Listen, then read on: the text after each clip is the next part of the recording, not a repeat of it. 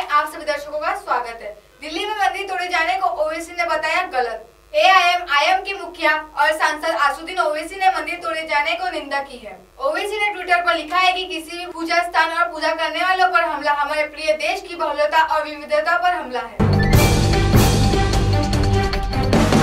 दिल्ली में मंदिर में तोड़फोड़, शर्मनाक कानून व्यवस्था, बीजेपी की ज़िम्मेदारी कांग्रेस।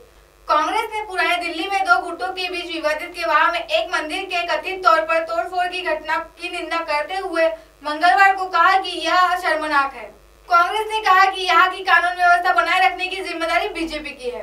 एमएनएस न्यूज़ लाइव की खबर देखने के लिए आज ही प्ले स्टोर से एमएनएस हिंदी ऐप डाउनलोड कीजिए और चैनल को सब्सक्राइब कीजिए। साथ ही बेल आइकन को प्रेस कीजिए। धन्यवाद।